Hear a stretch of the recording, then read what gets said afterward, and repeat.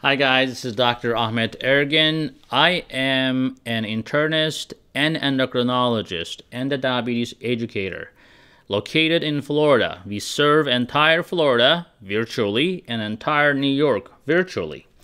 So, today we are talking about something that everybody likes to talk about, vitamin D deficiency. So, we are going to talk about risk factors of vitamin D deficiency. Why would you be vitamin D deficient to begin with?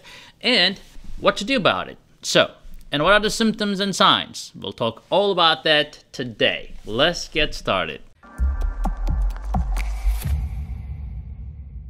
Guys, before we start, make sure you leave a comment, ask questions, give a thumbs up for us, spread the word this is an important topic that all of you need to know. So, let's talk about why would you be vitamin D deficient to begin with. Now, that's important for diabetics. For if you have type 2 diabetes, vitamin D is extremely important. So, if you are watching our channel for diabetes, definitely stick around because we are going to talk about how vitamin D can affect diabetes. But vitamin D is actually a hormone. Most people call it vitamin D, but it has so many functions and is actually a hormone. As a result, endocrinologists, us, we deal with problems associated with vitamin D all the time. So, why would you become vitamin D deficient? Well, if you're not a sun person, if you like to stay indoors, or if you're just too old or too sick to get out under the sun, you will develop vitamin deficiency easily. Now, I'm not saying go get yourself burned out there under the sun because sun can also create sun damage, can make you look older faster, uh, can give you melanoma and other cancers. So you have to be careful about that. Always wear sunscreen, but you have to have a little bit of a sun exposure my weekends, I am always out doing water sports. I think I'm gonna look old fast. But it's an addiction I can't give up, so what can you do? The bottom line is, if you have a darker skin like mine, uh, actually you're a little bit higher risk because when you have a darker skin, it's kind of an advantage against the sun damage, but it may not be a great advantage when it comes to producing vitamin D under your skin. So if you didn't know, a lot of vitamin D is produced under your skin under the ultraviolet lights. Now, we don't recommend tanning beds either because we don't know the safety of these UV lights that you guys go just to get a tan under the tanning bed. Yes, your vitamin D levels may go up, but you may die from cancer. So, not a good way. Again, you know, we always tell people if you're vitamin D deficient, I don't really recommend going to the beach and get yourself roasted if it's a lifestyle, if you're at the beach, if you're doing things outdoor, great. But if not, definitely do not just expose yourself out there, if especially if you're not used to it. Vitamin D replacement, which we'll talk about in a minute. So, what are the signs and symptoms of a vitamin D deficiency? How do you know you can be vitamin D deficient? Now, vitamin D test is very interesting in the United States, especially here. When we order a vitamin D test, patients may get a bill telling that your doctor ordered vitamin D for nothing. Well, that pisses me off all the time. And I'm like, okay, patient has this symptom, that symptom. Sometimes they don't even accept that. So we have to go by their books and see what they like. But if you tell your doctor what you're feeling, your doctor may be able to choose the appropriate code so you don't get a bill for a, the freaking vitamin D test, which can cost you uh, upwards of hundreds of dollars, which hard to understand. In the United States, everything is freaking expensive.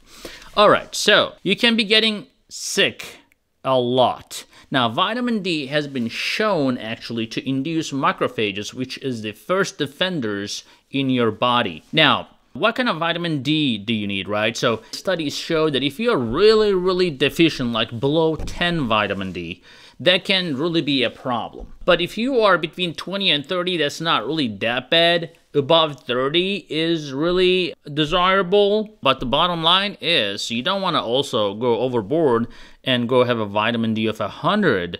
So it's really, I think, the sweet spot of a vitamin D is around 30 to 40 and maybe 50, but there's really no benefit of going above 50. And I found a study actually that says that too much vitamin D can increase the risk of mortality. Now, too little vitamin D can increase uh, the risk of mortality as well, like we discuss all the time.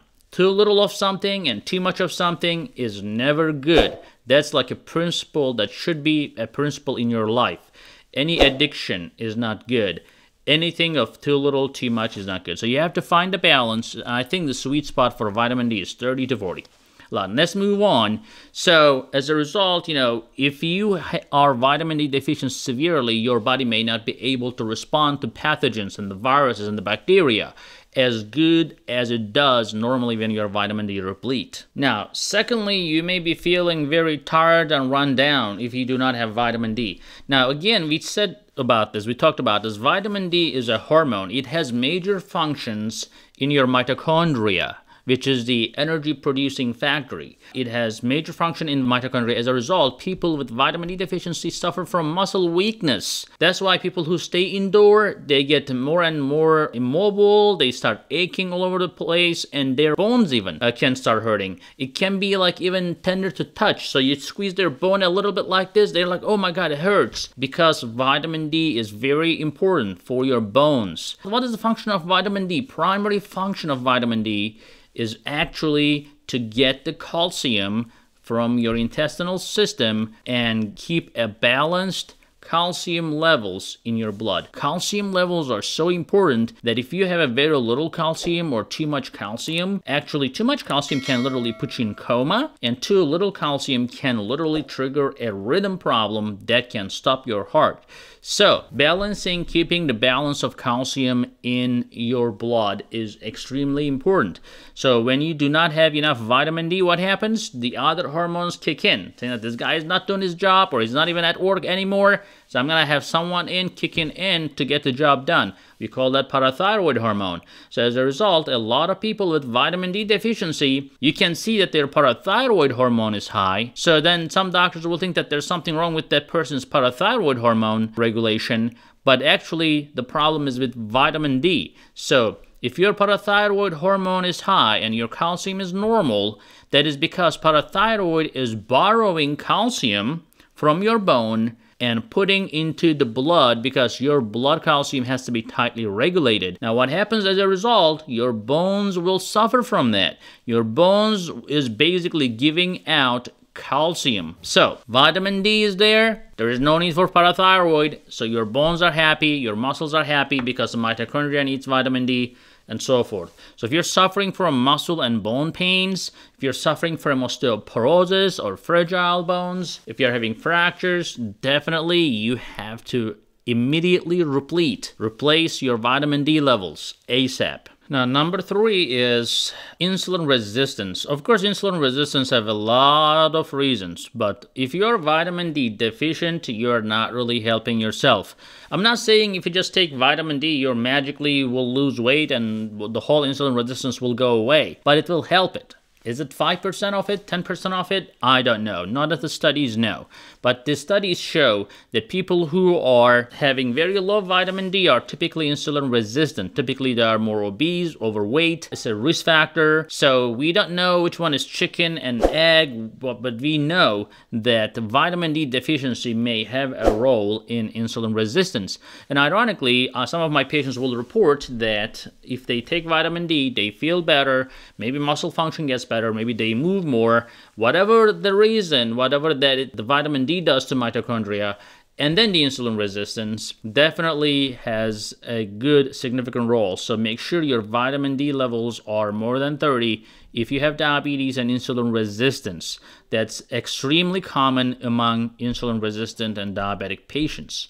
Again, that's why a lot of diabetic patients tend to have more bone fractures, tend to have more infections.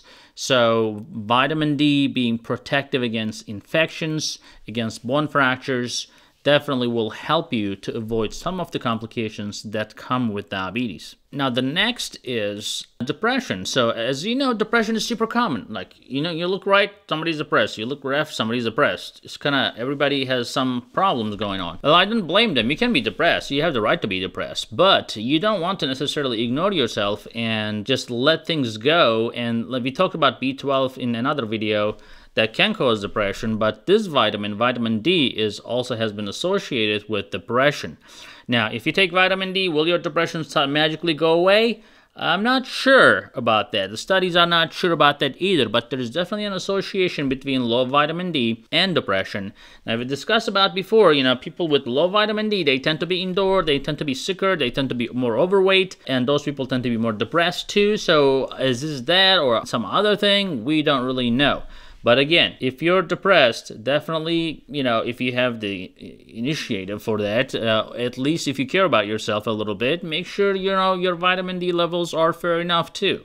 And the next thing is the impaired wound healing. So, some of you with diabetes either already developed a wound from neuropathy or will develop some wound in the future. God forbid, if you do not keep your sugars under control and neuropathy gets worse and worse, eventually something may happen.